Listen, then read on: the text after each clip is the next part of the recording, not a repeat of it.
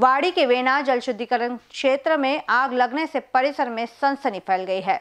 नगर परिषद वाड़ी के क्षेत्र वेना नगर टेकड़ी में जल शुद्धिकरण केंद्र के परिसर में 26 अप्रैल की दोपहर करीब 12 बजे के करीब अचानक आग लग गई। 14 मेल स्थित वेना जलाशय से आने वाले पानी को वाड़ी में वेना जल शुद्धिकरण केंद्र में शुद्ध किया जाता है और दौलामेटी डिफेंस वाड़ी क्षेत्र में लगभग तीन लाख लोगों को प्रतिदिन शुद्ध पेयजल की आपूर्ति की जाती है। क्षेत्र में पहाड़ी के नीचे देवी का मंदिर है। यह पता चला है कि असामाजिक प्रवृत्ति वाले लोग दिन और रात में सक्रिय है और अवैध गतिविधियाँ यहाँ पर चलती है। इसके अलावा जल शुद्धिकरण केंद्र की सुरक्षात्मक दीवार कई स्थानों पर टूट गई है और कोई भी आसानी से अंदर घुसपैठ करता है।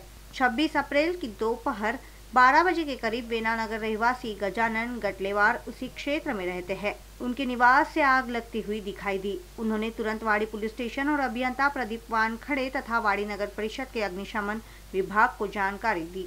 तुरंत दल घटनास्थल पर पहुंचकर आग को नियंत्रित किया। इसकी वजह से आग से खाक होने वाले लाखों रुपयों का प्लास्टिक पाइप बच गया।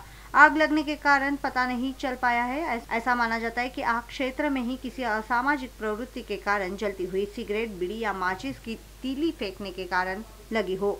रात को परिसर में पुलिस गश्त तथा संबंधित विभाग के संरक्षण दीवार का मज़बूत बांधकाम करने की मांग। नगर सेविका सरिता यादव, नरेश तरडे, केशव बंदरे, आशीष नंदागौली ने महाराष्ट्र जीवन प्राधिकरण से की है। इन बीस न्यूज़ के लिए वाड़ी से सुनील शेट्टी के साथ अभिषेक पांसे की रिपोर्ट।